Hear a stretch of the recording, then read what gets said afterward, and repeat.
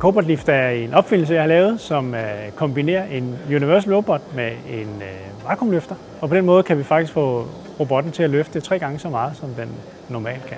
Vi snakker om kollaborative robotter, og det er typisk sådan nogle, der kan løfte øh, op til 10-15 kilo. Men fordi vi nu bevæger os i et område, der er meget større, så bliver, øh, så bliver problematikken også større. Og derfor er det endnu vigtigere for os, at vi har godt styr på, hvad der egentlig sker, hvis man kommer i klemme.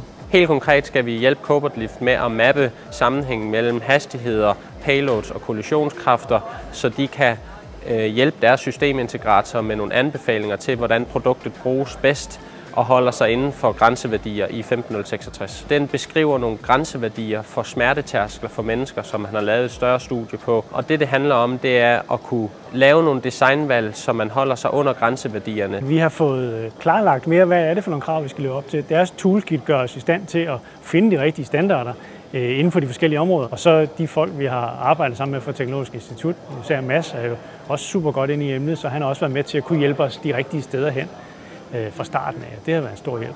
Det handler dybest set om at få implementeret flere robotløsninger i industrien, uden at gå på kompromis med menneskers sikkerhed. Ved at få implementeret flere robotteknologier i dansk industri, så sikrer vi industriens konkurrenceevner i et globalt marked.